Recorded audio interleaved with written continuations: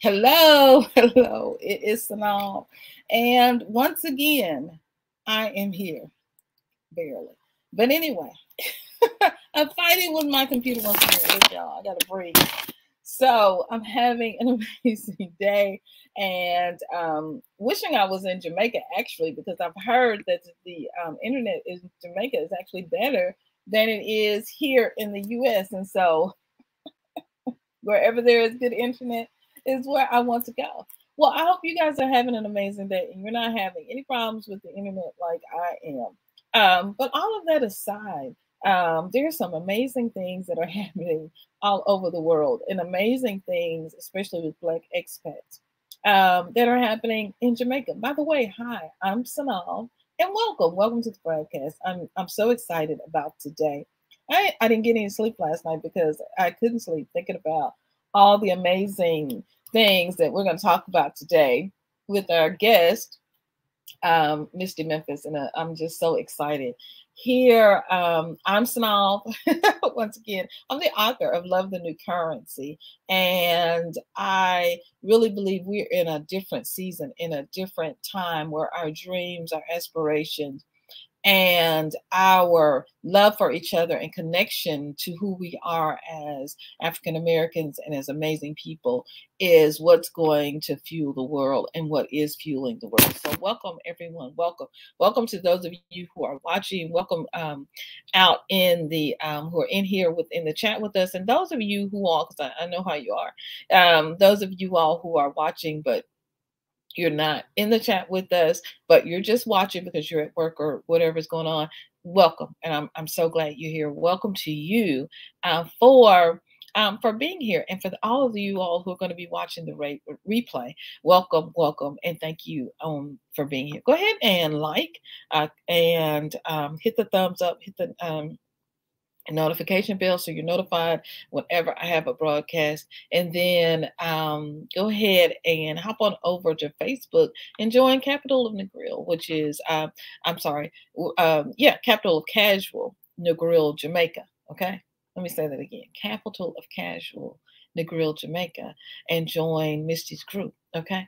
Because um, you definitely want to join her group and be a part of all the amazing, beautiful, wonderful things that are going on. I'm going to have all the links below, just like before, uh, because she's been here. She's been a guest with us before. And so I'm going to have all the links below to her group. So just check back um, so you can connect with her and you can learn about Jamaica, whether you're coming to visit or you're just coming for the rest of your life to enjoy your having yourself and have an amazing, um, wonderful life for you and your family. Um, Misti has all the information that you need, and so you definitely want to connect with her. All right, well, I'm going to um, give you guys a little bit more time um, to come in, and I'm going to do something really quick that I need to do, um, which is uh, share this with everyone because I definitely don't want you. Um, I don't want you to miss this. And so, welcome, welcome, welcome. If you haven't already, go ahead and check out uh, my past conversation. I had a conversation before with Misti. She's in the capital um, of Casual Negril playlist. And so um, check out that video where she talks about her amazing experience of moving to Negril. So that'll bring you up to date. And then, of course, uh, check out this video and be, be sure to share it with a friend. Well, let's go ahead and bring our guest in.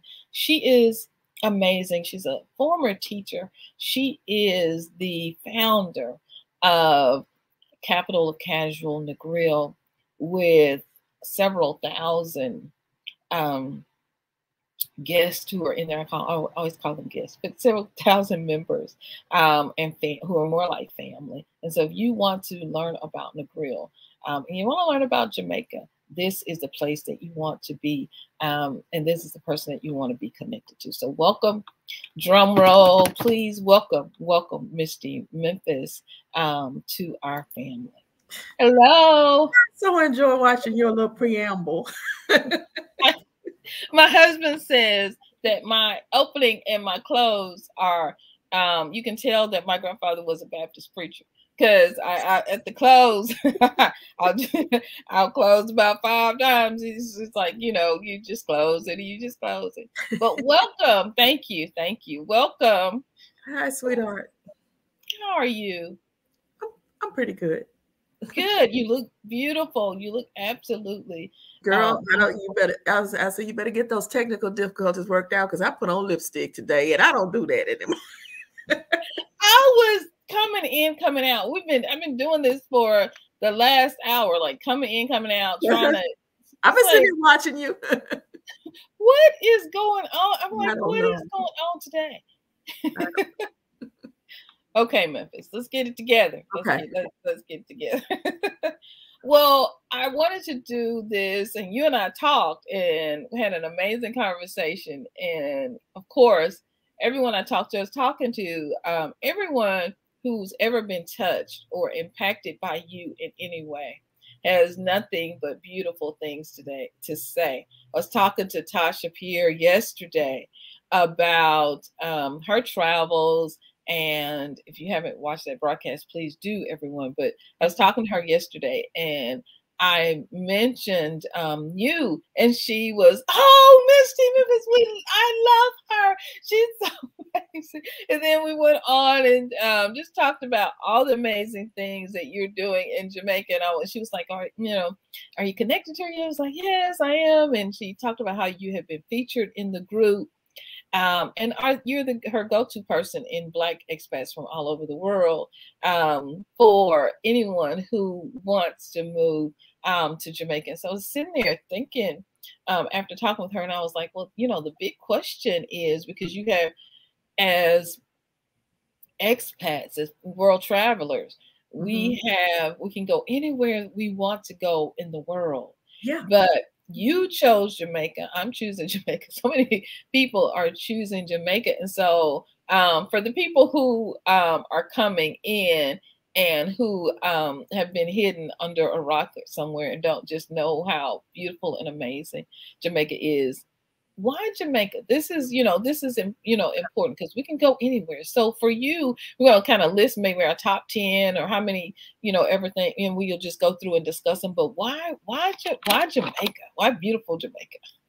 Okay, so it, it started as a vacation that ended up being a lifetime pursuit once I got back to the United States from that first trip in April of 2000, I went back to work at East High School, and oh. Only half of me was there working. The other half was somewhere else, and I didn't know where. Mm. And finally, one of my coworkers just stopped me in the hallway, and she actually is one that I didn't interact with all that much. Can I put it like that? Oh. I didn't feel I didn't feel particularly close to her or anything. I think she cared about me. And she just grabbed me by the arm and she said, Miss Williams, what's wrong? You don't seem the same anymore. Something is wrong. What's wrong? And I, I, stood there in the hallway thinking, and I was just, it felt like a, a movie running through my head. And I said, Well, maybe I just want to go back to Jamaica.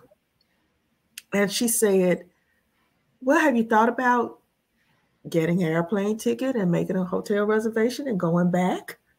And I'll never forget, as long as I live, my answer oh, people can go on vacation more than once a year. That's how limited I was. Memphis and, and, and coming up in 1951 can put you into a little box that's a mental. I, I always, I often think of um, I believe it's Marcus Garvey, or was it Haile Selassie that said, emancipate yourself from mental slavery. I think it was Marcus Garvey. And uh, Bob Marley turned it into a song lyric. Emancipate yourself from mental slavery. I was a mental slave.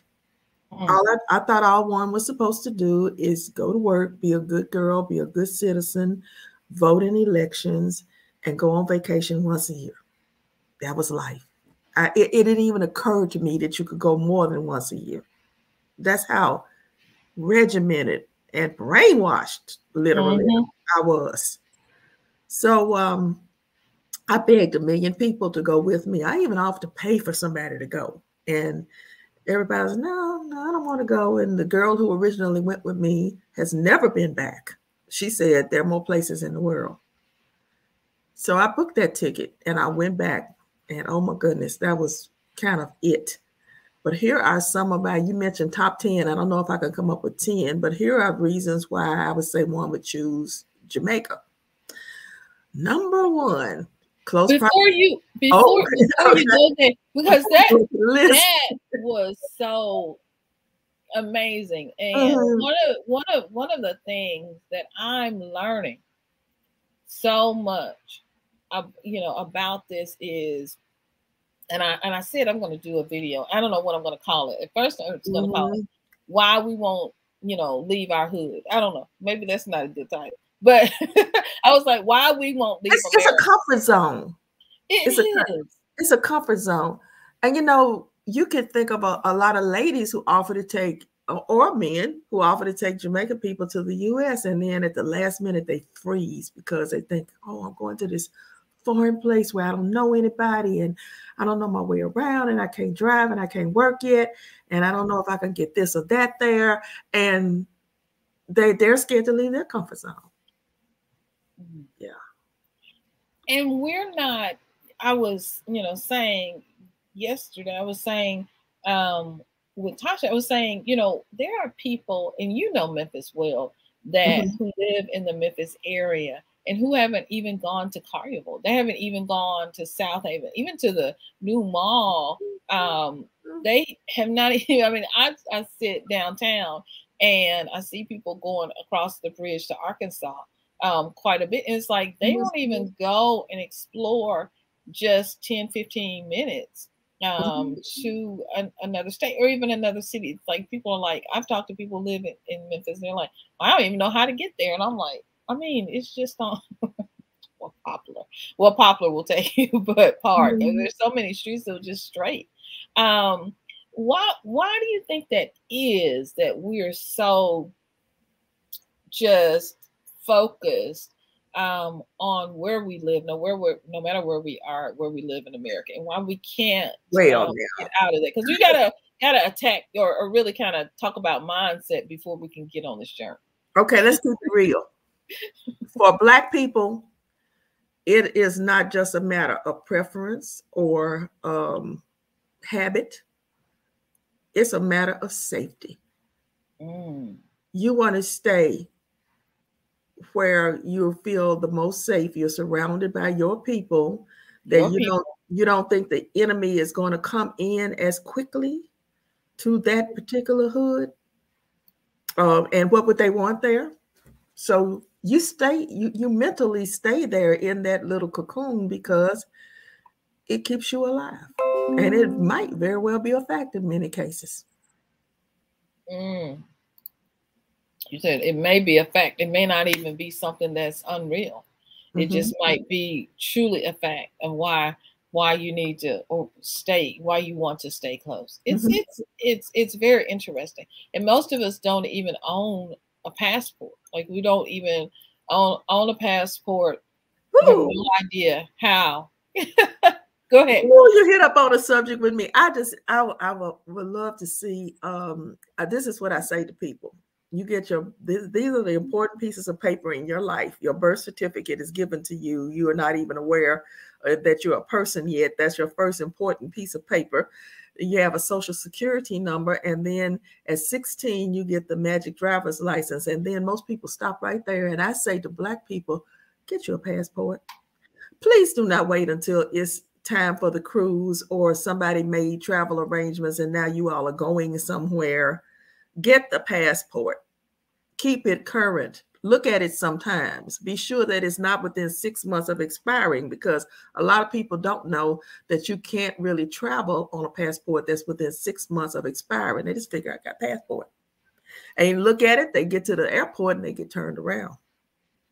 Mm. So uh, the passport, when you get your passport, I say you're a big boy or girl. Now you're a citizen of the world. I don't care if you don't ever get to use it. Get one because you don't know what might happen. And you might need to get on a plane and get on up out of here.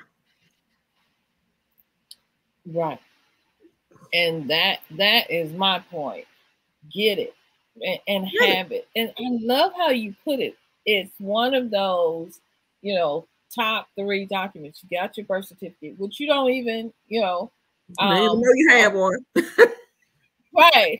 Social security card, social mm-hmm. security card, but you can't do anything um, without your social security security card. And then your driver's license, which mm-hmm. some people can't even drive, so that may or may not have that. Um, mm-hmm. and that's you know that's your choice. Um, I like to be able to drive in case I need to go, in case I need to move. So and then your passport. You these are the things, but we're not we're we're not put onto that. We're not we're not we're not taught that at all. Do you know that there was a time when black people were not allowed to have a passport? Oh, now we're hitting on something. So, did you know that by going to get your passport, just like you go to get your voter registration card, it is a nod to those in the past who made it possible for you to now have this document. It is a right. It is a right that you have as a citizen of the world. Just having that, I helped. I helped a young Jamaican guy get his passport. He didn't have his Jamaican passport. Oh my goodness! If you could have seen him when he got that passport, he took it to work. He showed it to everybody. He he walked around. You know, it's probably not a good idea to carry your passport around with you because you might lose it. But uh-uh, he didn't leave the house without it because he might need to flash it to somebody. wasn't going anywhere. Just proud that he had his passport. I wish we had that attitude about a passport. It's the key to the world. It's the key to the world. And now, now you know, now that you have those keys Okay, so you got your keys, you got your keys to the world. You can go anywhere that you want to go. Mm-hmm. Why Jamaica? Why is it over and over and over? Proximity to the United States. At the time that I made my transition to Jamaica, I still had a living mom and a, a living older uncle, the last two of the 12 of my grandmother. And I needed easy access to get back here quickly if they needed me. Um, and then also just having gone to Tokyo, Japan to see my daughter uh, and experience a 17 hour flight, that little two hours and 45 minutes to Jamaica feels like nothing. So I like that. So close proximity. English speaking country. Um, I know a lot of us are going to Portugal and, and all kinds of places. And I, I, admire you. I have no basis for the Spanish language, I have no basis for French or German. My daughter living in Tokyo has pointed out to me how you can be in a language desert. She knows enough Japanese to function, but she just delights when someone from home comes and she can speak English and relate to that person. So I, I love that it was an English speaking country. Uh, for me, the biggest draw was that it is a 98% or more, I think it's really 99 point something black country. We are okay. in charge. We we are we are running it. Um, it was wonderful for me to look around and see all of those pretty black girls with the clipboard, walking around in charge of everything, and all of those men standing tall and proud, in charge of themselves, in charge of their business. Um, it was just delightful to me to see Black people everywhere, pretty much. Um, the other people I saw were tourists like myself you know, mm-hmm. and they were just there maybe temporarily and coming and going. It was just a refreshing thing for me to see black people in charge. And so that that was probably number one at the top of my list. It does have good infrastructure depending on where you choose to live. Because if you know you, you go get yourself a house on the side of the hill somewhere and you want the, the dream of looking out at the vistas and you just you and your man or just you uh, you're not going to have the great internet and the great water system and the great electricity maybe that that you crave. But then again, you can locate yourself in Kingston or Montego Bay and have all of that, including the hardwood floors, the granite countertops, and the uh, dishwasher and the uh, stainless steel appliances. It just depends what you want. And um, the friendly nature of the people was a is a biggie for me. It's like walking back into the 60s in America when we used to speak to each other and we used to relate to each other and we used to love each other. And it was black is beautiful and hey, brother, hey, sister, you know, you have to greet people in Jamaica. You have to speak. You can't just walk by folks and, and, and be in your little cocoon. All of that, all of that appealed to me. It was like living my best years over again in Jamaica. So I'm writing my notes. So I, am gonna. I, am a good student. So when you see me looking away, guys, I, I, just want you to know. You see me looking down, looking away. I'm I'm I'm I'm taking the notes because I want to be a good student um, Misti Memphis is here. Um, Misti Memphis 101. right, Misti Memphis. Hey, look, this is Misti Memphis 101. Let me write that down. Because that is and we have um, you don't realize I, really want you to really guys if you're listening i really want you to really see and understand you may not realize just how um, amazing we are in this time where we can share this knowledge and where we can actually have this opportunity to have an expert, someone who's lived there.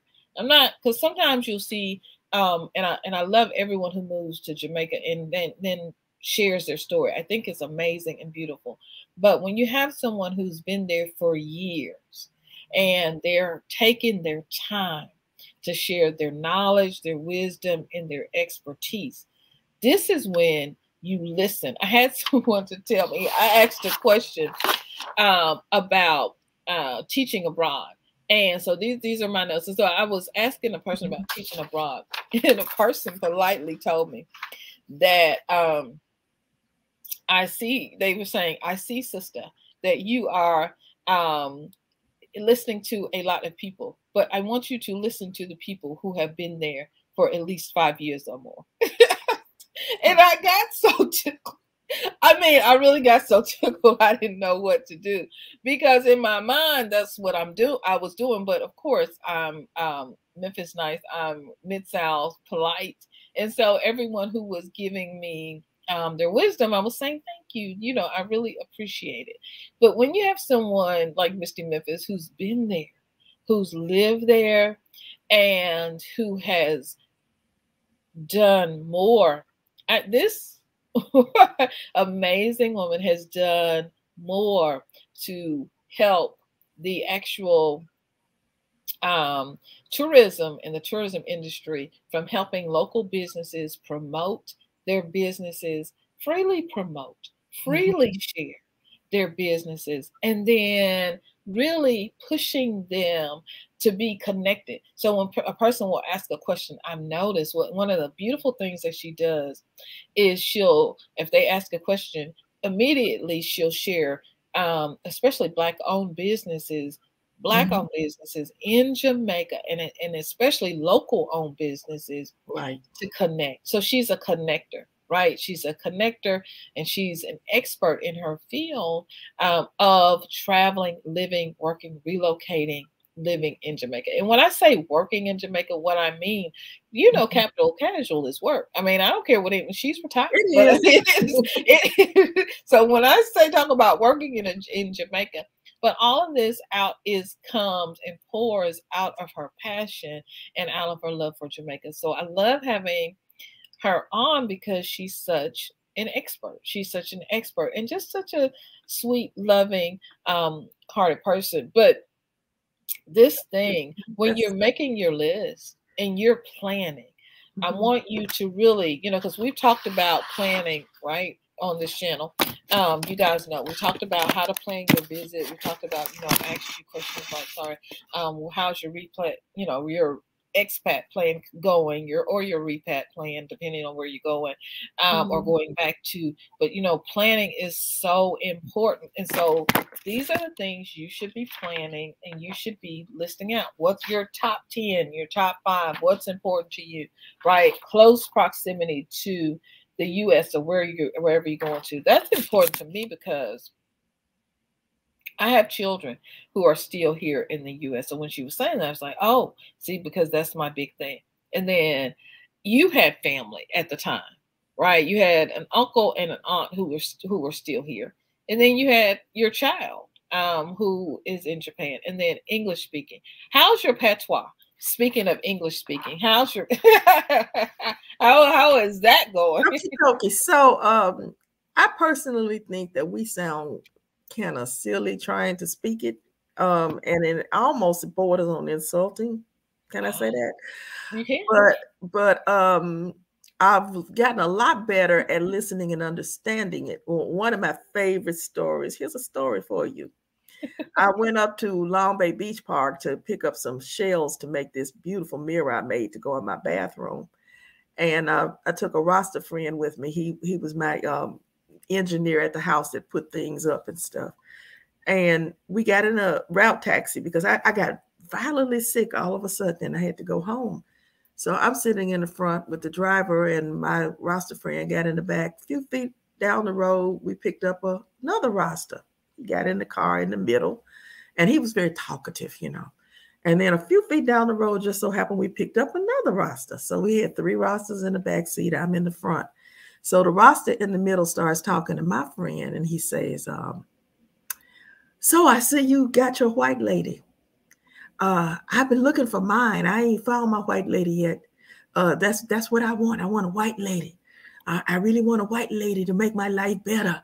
And I, I, I, and I see you found yours and everything. But he was saying it in a patois, you know, very fast, and he didn't think I understood what he was saying. And uh, when we got home, I asked uh, Everton. I said, uh, so I just want to ask you something. I said, Is it like the goal of your life from birth to get a white lady to come in and swoop you up and make everything all right? And he said, You understood what we were saying? And I said, Yeah, I said, but also, could you tell your friend that I am not a white lady? I'm African American. I get that. I get that a lot in Jamaica. I mean, a lot and um, I'm used to it now. So it's just it's just what I have to deal with. But yeah, uh, I can understand what they're saying, but I don't want to attempt to try to say it because I I know I sound silly. Same, so, same. You know. Whenever I hear patois, I really listen and I um try to practice it on on my hubby, and so he just kind of looks at me like, "What are you doing?" But whenever I hear patois, I always it reminds me of some of the older Mississippians, um, mm-hmm. former generations. I can hear wagwan. I, I can hear, mm-hmm. I can hear the ancestors. It's just kind of a lot of it. A lot of it is very similar, and we've lost that. I mean, my degree. Well, everywhere that we around the world that we were enslaved, we uh, developed a form of language that we could communicate that Massa wouldn't understand. And patois is that in Jamaica. And um, actually, in America, basically, we weren't allowed to speak at all. So, right. So developing a language wasn't uh, much of a.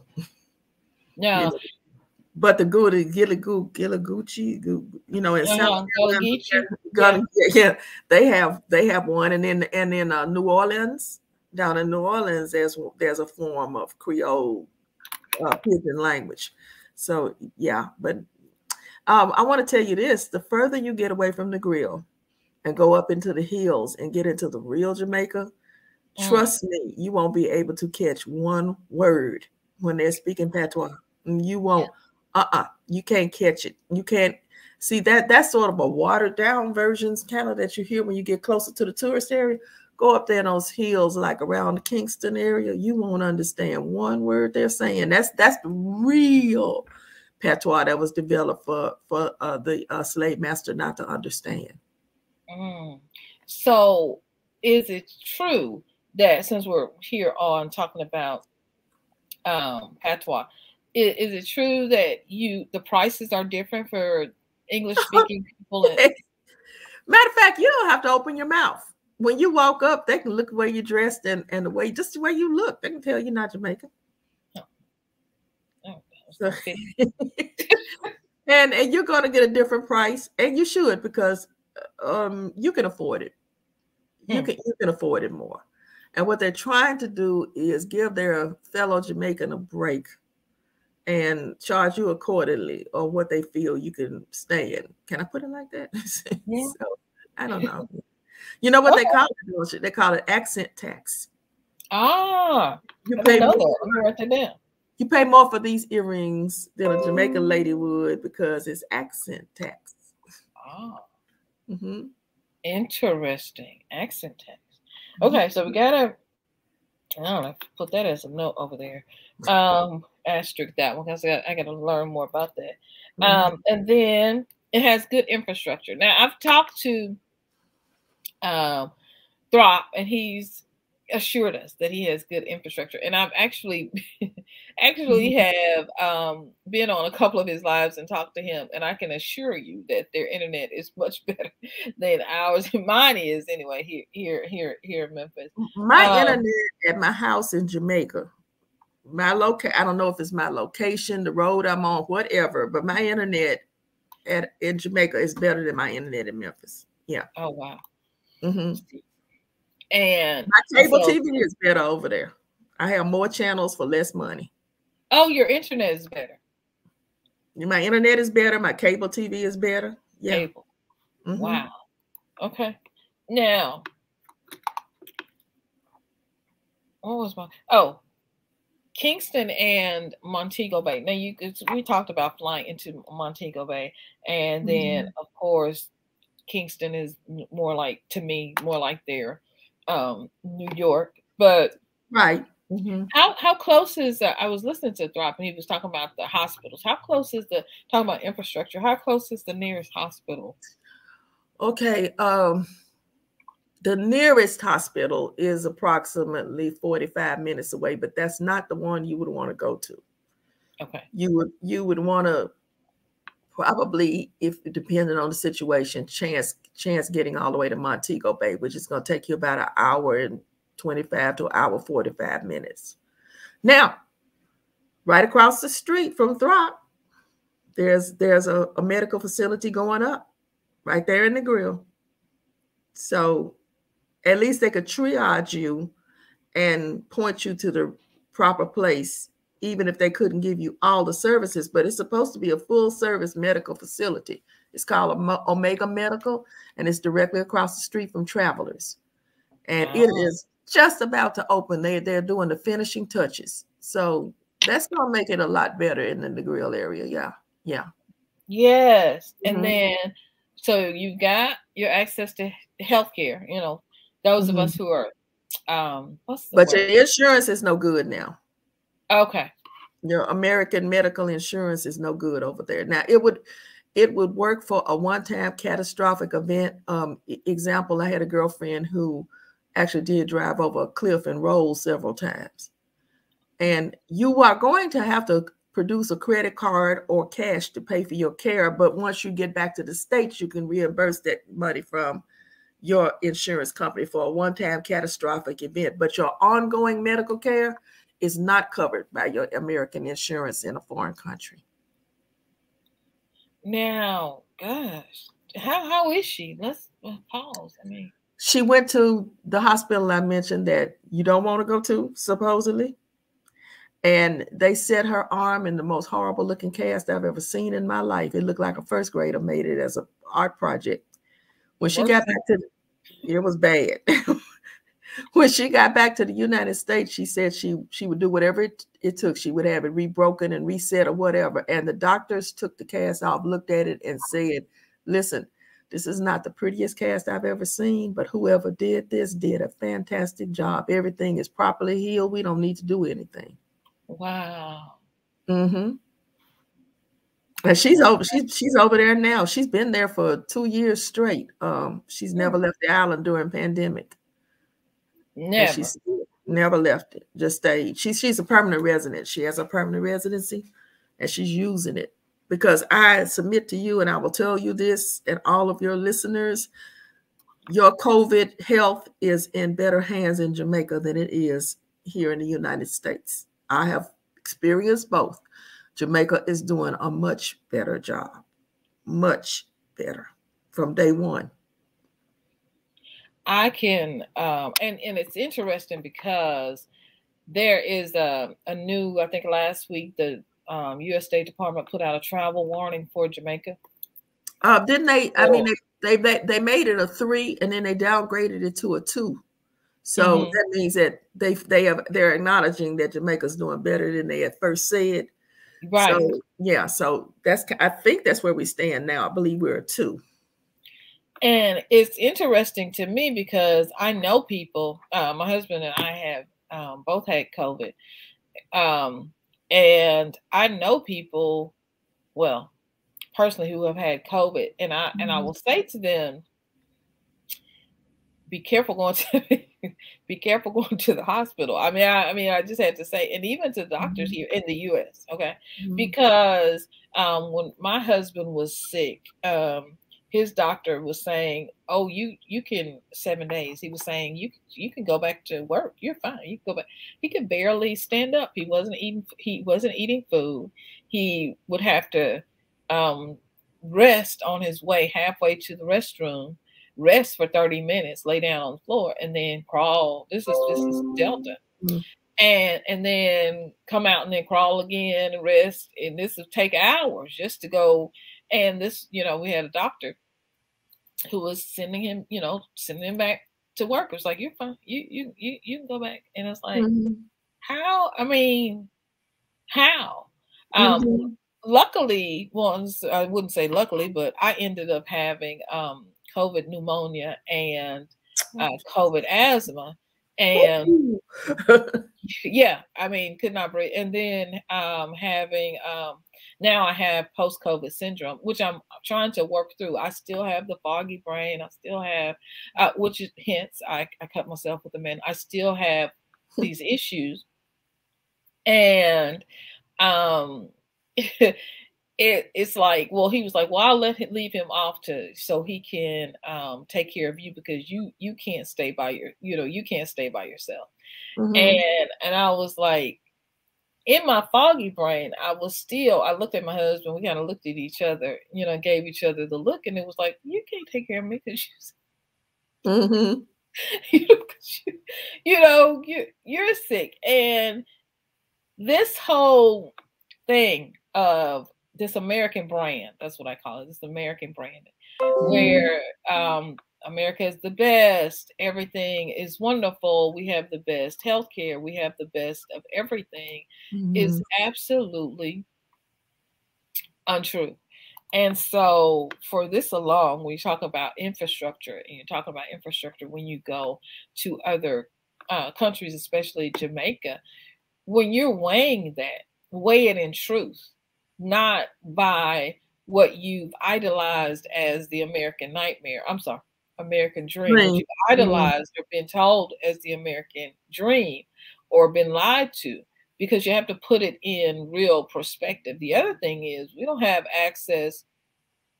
I live downtown, and so there's not a grocery store. We were just sitting here talking about this last night. There's not a grocery store. The closest one is Union or, or Poplar, but for and it's for everyone you know who's who's who's downtown. So you don't really have this access. So you have these food deserts you have all these things um, that that are that are happening throughout the us and we're not growing our own food so it's being imported from um, jamaica spain anywhere in mexico anywhere they can get it from. And so when you think about infrastructure and you're comparing these things, what are some of the other things I think that Americans may not really realize or, or, or may not know um, when they're falsely comparing infrastructure between America and Jamaica? Well, um, these these are some simple things that you will notice once you come to Jamaica. One thing is the air quality. Mm-hmm. Everybody, everybody, the, the word they use to describe the air in Jamaica is it smells sweet uh, it's wonderful thing to be somewhere where there's no manufacturing and a whole lot of car exhaust and uh, pollution. The beautiful clear running streams. You actually can drink water out of a river. Just just get a cup and drink it you know and it's ice cold. Oh my goodness the sky the vast vistas of the sky.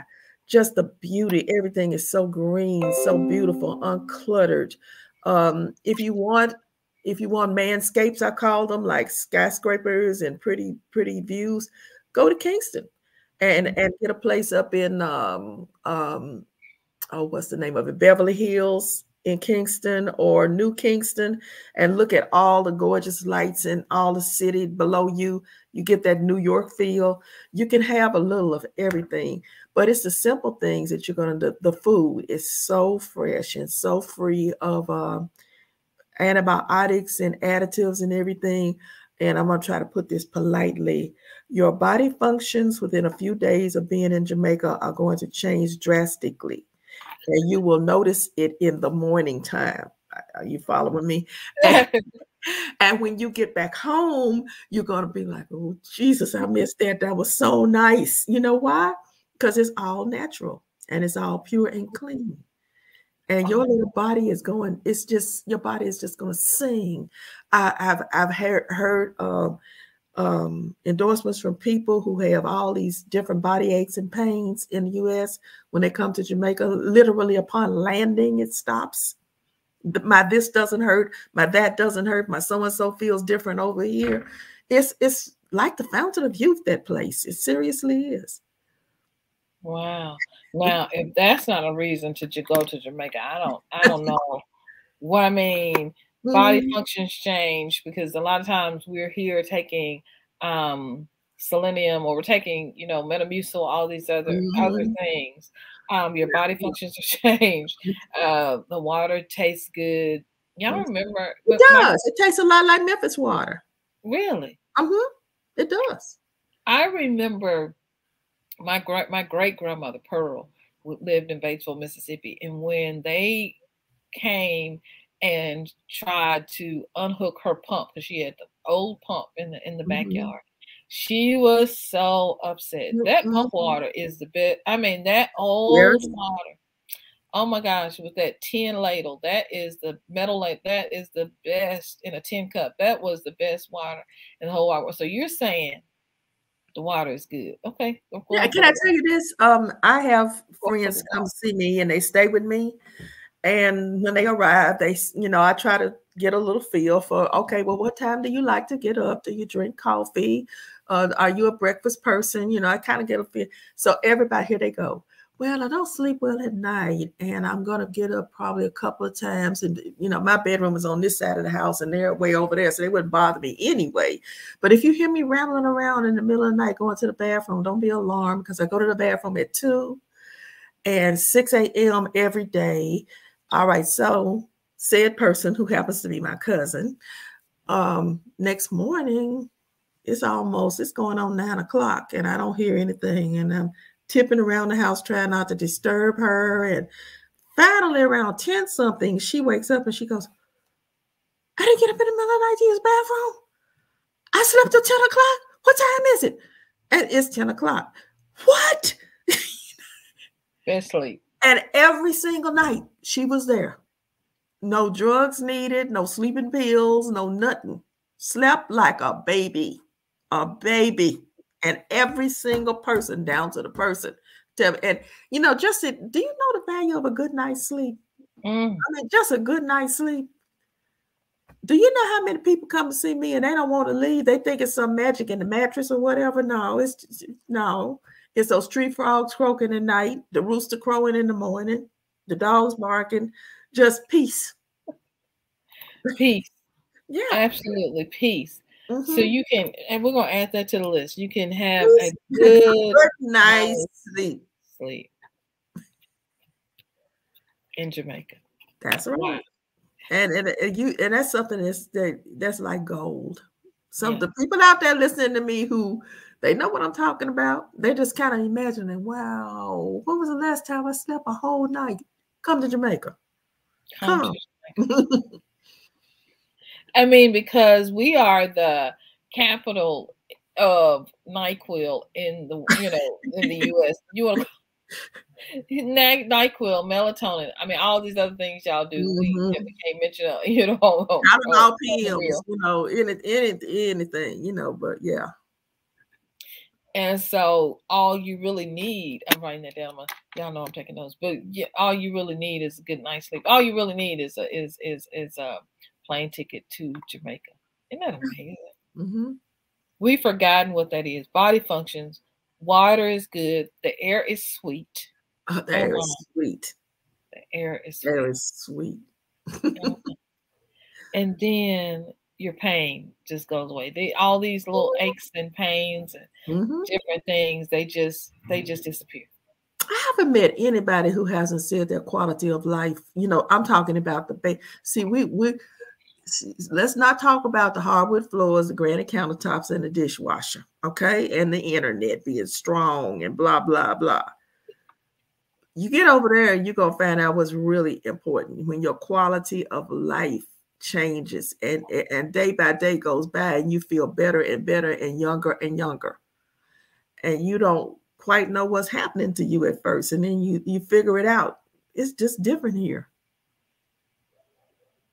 fountain of youth fountain of youth mm-hmm. yeah look at me i'm 70 going on 71 well i told you i didn't believe that so i mean because you do not look set no. You do not look 70 at all. Mm, thank but you. not the hardwood floors, the quality of life. Your life just improves because we've gotten um, out of the this. I don't know. Our whole psychology is off. I talked to Tasha yesterday about this.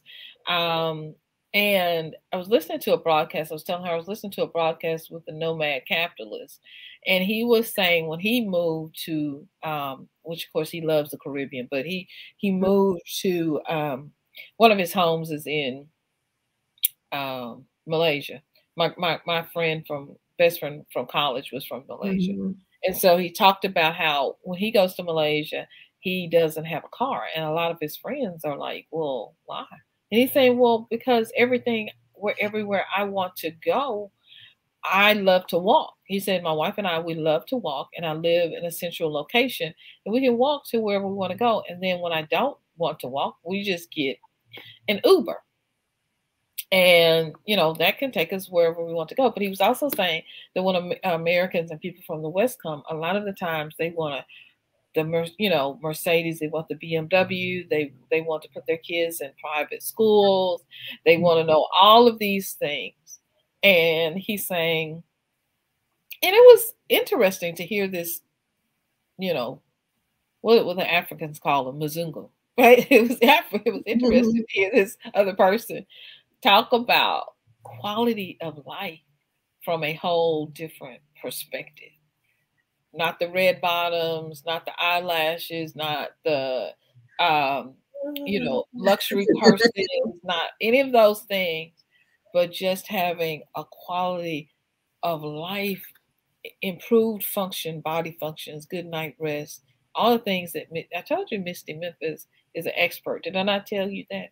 When I think of her, I think of her on the level. And the reason I'm mentioning nomad capitalist, I think of her on the level of the nomad capitalist because she has years of experience in anything that you want to do in um, Negril, grill, mm-hmm. especially mm-hmm. Uh, when it comes to running a business, starting a business. I mean, people have come to her and talked to her about their business ideas, yeah. and, and you, which you know, that'll be you know, kind of one of our next uh, things we'll have to talk about business mm-hmm. because um, she comes from this wealth of knowledge and experience and she's gonna give you the truth. That's just she's just gonna give you the Misti Memphis truth. She's she's just gonna give you Misti Memphis one on one. So this is why um, you when you are choosing to go to Jamaica, and I don't care, you know, her specialty obviously is Negril, but to me, I don't care where you going in Jamaica? I don't know. Mm-hmm. You should be setting up like a consulting service, but I don't want to give you any more. I don't. I don't want to work there for for finance for finances uh, because I don't want to get tied up with um, taxes. I look. It's it's bad enough. I got to still do taxes over here. I got to get that oh, together now. I don't want to get tied up with two tax me. I'm I'm fully retired. My retirement income comes from the U.S. Everything I do is voluntary. I am not interested in business. That's why I'm probably going to be a pretty poor um, consultant when it comes to young people who are still in an age group that they want to come to Jamaica and have some kind of livelihood. Mm-hmm. Um, that's a little bit out of my area of expertise, but I'll tell you something that I'm dogmatic about. When foreigners come to the United States, I mean to Jamaica from wherever, Canada, the United States, wherever, I find that a lot of them try to circumvent the rules and regulations and downright laws of the country. They uh, feel they have some type of privilege being from elsewhere and coming with all of their money or whatever to start a business and hire some Jamaicans. This is what you're going to always hear from Jamaicans and Americans alike, but they gave somebody a job. You know, somebody's got a job because of them. And that absolves them from everything that they have circumvented and lied about and, and just downright broke the law. So my one thing I'm dogmatic about is if you do come to Jamaica to start a business, please do it legally. And you're going to find that that is not an easy thing to do. To do it really legally, you're going to pay probably more in fees and taxes and permits and stuff than than the business is worth. Mm-hmm. You know, because starting a business anywhere in the world the rule of thumb is that you're going to lose money for your first three years. So, are you first of all prepared to finance your business for three years on a nonprofit basis? Because you're not going to open up XYZ, your bar, your restaurant, your club, whatever, and all the money's just going to start rolling in. Nope. Nope. Not going to happen like that. Nowhere in the world. So, if you can't afford you need to do your homework and find out what all the permits and licensure is, how much it costs. It's going to cost you days in offices, jumping through hoops of people who have a little bit of attitude about you because they're kind of like, no, and, and, and here's one thing I always want Americans to remember nobody cuts Jamaicans a break when they come to America. Not right. getting in the country, not coming to visit, not coming to live, not being married to an American and trying to get in and get a green card. Nobody cuts them a break. So don't expect somebody to just be so thrilled that you decided to come to Jamaica and relocate and start your little business.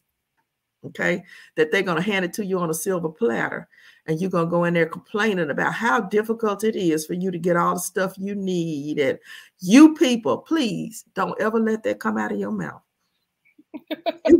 you people just do you know who I am? you know, you know, do you know what I'm bringing to this country? You ought to be glad I'm over here. Yeah, yes, that's that's the attitude, you know.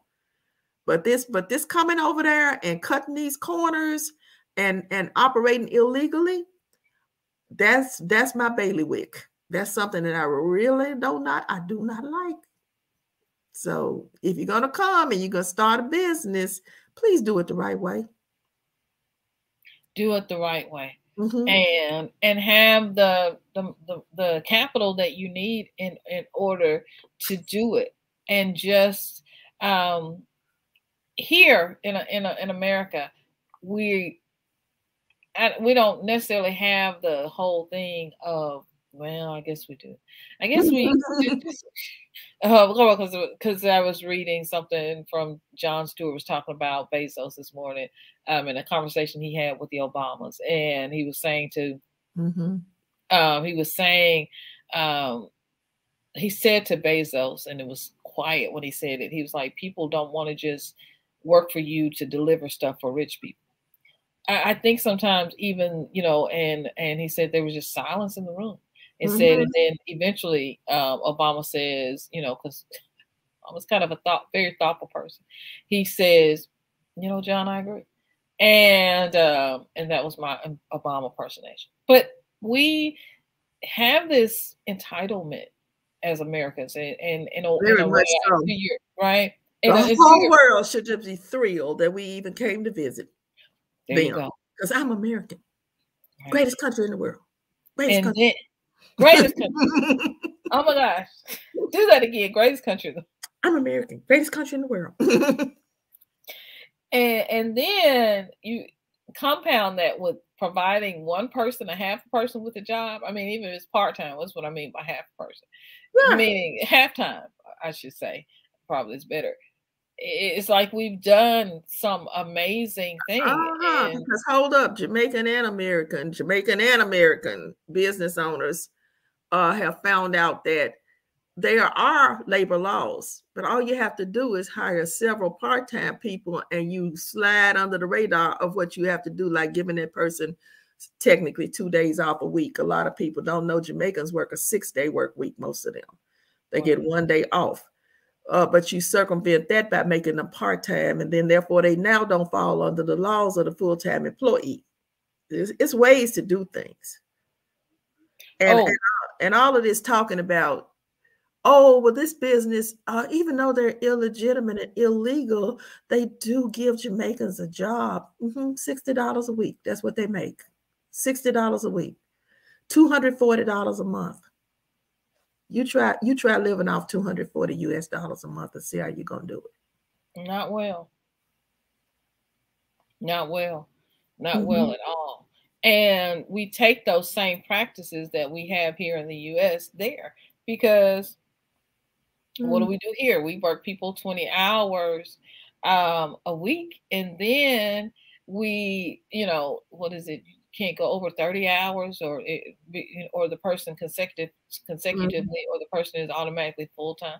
We we'll put them right at the 29.5. I mean, we'll put them right mm-hmm. as close as you can get, so that you're not. Um, you're not having to pay that employee. And, and so we need to retrain, reframe, go on a spiritual quest. I know what we need to do um, to get those Americanisms and that American way out of our spirits before you go, right? Before you before you go, um, no matter where you're expat uh, expating to, but especially if you're going to expat to Jamaica. I'm just saying because I don't want to get over there and see you doing that. I would think as a foreigner, as a, since since you went down the business road, as a foreigner getting ready to establish a business, and I'll just use Jamaica. The first question you need to ask yourself is who is your target audience? Who is it that you're expecting to? Um, okay, so let's just pick an example: a bar. You know, you want to open a bar. Who do you expect to come to this bar to drink? Are you targeting um, tourists? You're gonna let's let's open a martini bar. That's something that doesn't exist in Negril. Let's let's open a martini bar. Oh. And, and, we're going to we're going to uh, do martinis, and we're going to do martinis uh, that um, you know how the flavored martinis are so popular right now. Mm-hmm. So we're, we're going to do a sorrel martini. We're going to do a um, a pineapple martini. We're gonna do a, a star fruit martini. We're gonna we're gonna use the local stuff and we're gonna twist it, and we're gonna open this martini bar. Okay, me tell you, Jamaicans probably pretty much not interested in drinking martinis. Now, you know, they may try it, but uh, they're probably not going to be real interested in it, and um, they're going to patronize their own before they patronize you. So that kind of leaves you with the tourist population. Okay, so are you aware that the tourists heavily are not in town only but four months out of the year? So can you make a living with four good months out of the year? Mm. There's a lot for you to think about before you open a business in Jamaica. And I want to say, start with who are who is your target audience? Who are you trying to serve? Now, let's say you open an auto parts store. Oh, yeah, that's gonna go over big and if you can actually get the parts to the country for those automobiles that are having difficult time finding parts, then that's a whole different ball game. They're gonna they, they will patronize you, especially if you can deliver that at a uh, decent price. Okay. Yeah. And put some Jamaicans on the front counter and start your automobile parts store. So yeah, that's probably going to make it. But that's a difference between two types of businesses. You see. Open mm-hmm. a hardware, open a hardware store with fair hardware prices, you in the house. Um, I'm just trying to think of some things, you know. So it's going to depend. Personally, I did it the chicken way. I wait until I was ready to fully retire, pull the Social Security, and then I went to Jamaica where I did not have to work at all. To to me, if I had to go there, it would ruin at work. It would ruin paradise for me. Mm-hmm. But then again, you you delay your dream until your ass is old. Let's just be honest. I want to go now. I want to go while I'm still young and cute and look good in a two piece. Okay, I, I, feel you, girl. Go and go. You know. Uh, and so that's also one of those top things is you know very important to think about is you know your your income and your housing and your ability to start a business and even just knowing the landscape of the you know the, of the, the business landscape there in in Jamaica. I mean, it's mm-hmm. you know mm-hmm. it's real. It's it's very important to kind of know these things. Very interesting things that you bring up that we really need to take a moment and consider. One of the things that you also mentioned, um, number five, was the friendly nature of the people. We're going, um, and you know, just the old uh, South, it, you know, as you kind of mentioned, how we speak to each other, used to speak to each other, love each other, mm-hmm. um, and all of those and things. Now we won't even make eye contact. No, we don't. No, we just we in our zone. I stay in my lane. You know that I stay in my lane, staying in my lane. Uh-huh. And we don't even speak to each other. You know, I'm, I used to be a cruise girl for a while, and until I discovered Jamaica, and it amazed me how I would go on a cruise and see other black people on the ship, and they would they acted like they didn't want to speak to me. Uh, well, maybe they thought I was white. I don't know, but but but uh, they said they didn't want to speak. We don't we don't speak to each other anymore. Into I mean, some, something changed, and it's not a good something. Mm-mm. Something definitely changed. Mm-hmm and I, I don't know if it was the 90s and the drug culture. I don't know what happened, but mm-hmm. at some point we, I think it was the 90s because we, 88 was a lot different um, when I graduated high school. So, I mean, I, I somewhere in the 90s, something happened. And I'm not quite sure if we can even get it back. But you can go to Jamaica. I don't know. Yeah. that, that you can do. All right. So um, that's our top five. Um, and six, would you say um, business, starting a business in Jamaica? Well, definitely retiring in Jamaica has got to be uh, number six for you. That's the bomb. Right. it's the place to retire. Mm-hmm. It is. It is the place to retire and spend your golden years, if you want to call it that. Yeah. Yeah. Is the place to retire. Yeah.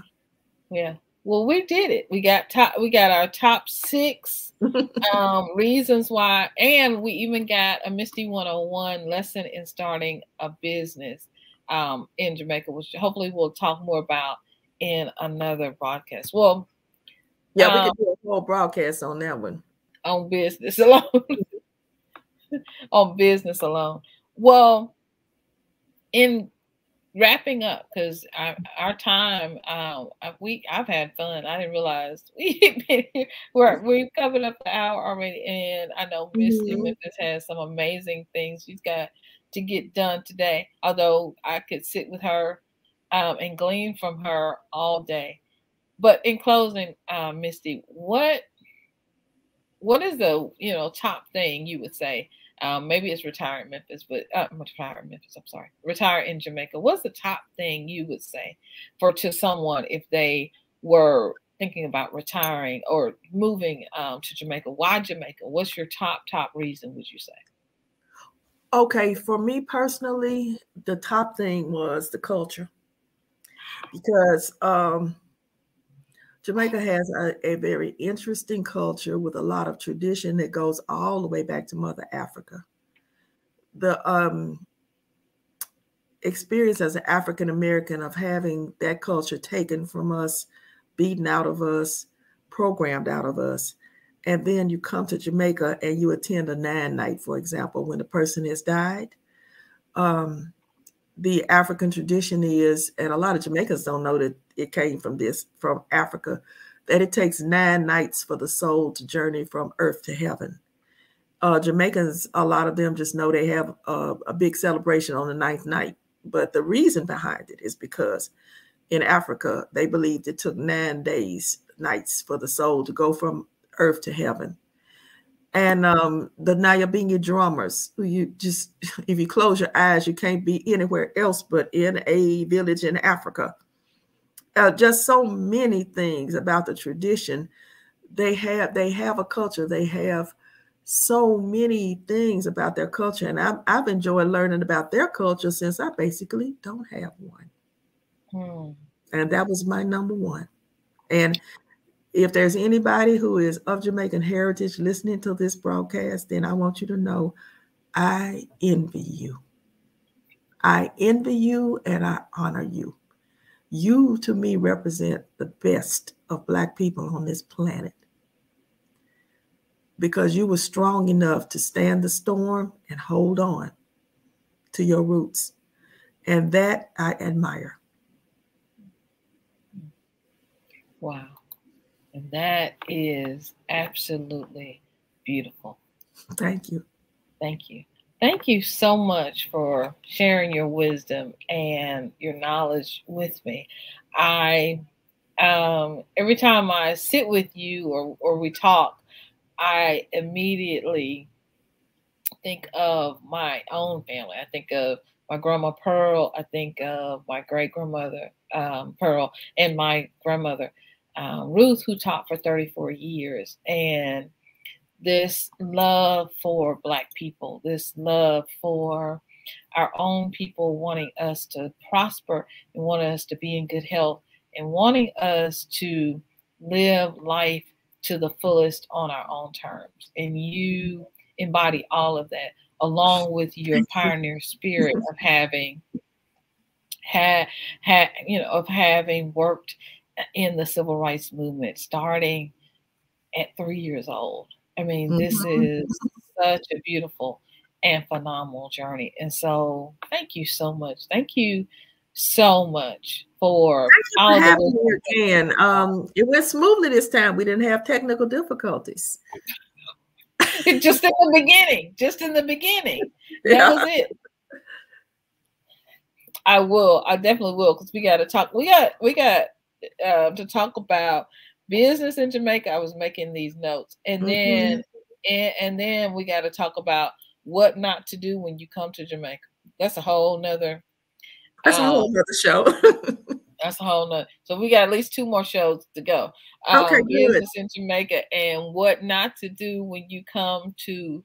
So Jamaica. I have to put on lipstick two more times at least. Two more, yeah, two, two more times at least, at least, and then that gives you an opportunity to kind of um get your ideas going, which you are so good just on the fly though. I'm like you, are one of those people you can just ask and you you you are just prepared already. I appreciate you, um, your expertise, your knowledge, and um, just your love for Jamaica. It's so so refreshing that Black people love Black people wherever we are. All right, thank you so much, Misti. Thank you. Okay. Right. See you soon. everybody. Thanks for watching. Thank you. Uh-huh. Well, guys, are you hearing what I'm hearing? I mean, we can go to Jamaica and we can we can actually tap into the fountain of youth. Did you hear that? I mean, Mr. Memphis broke it down. You could come to Jamaica and get a good night's sleep. How many of you have not had a good night's sleep in a long time? It's waiting for you in Jamaica.